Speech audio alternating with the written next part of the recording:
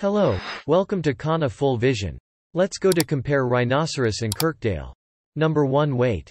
Adult crocodiles. They weigh an average of 18 and 32 kilograms, 40 and 71 pounds.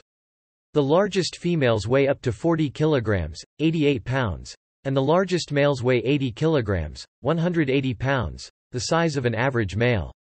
These big animals are 2.5 to 2.3 meters long and weigh about 1.5 to 1.2 tons and are the second heaviest land animals after the elephant. Number 2 Height. Such as the dwarf crocodile with a maximum length of 2 meters to much larger species such as the saltwater crocodile which often reaches 5 or 6 meters in length. Rhinoceros height. 1.7 to 1.9 meters, male, shoulder area. 1.6 to 1.8 meters, female, shoulder area.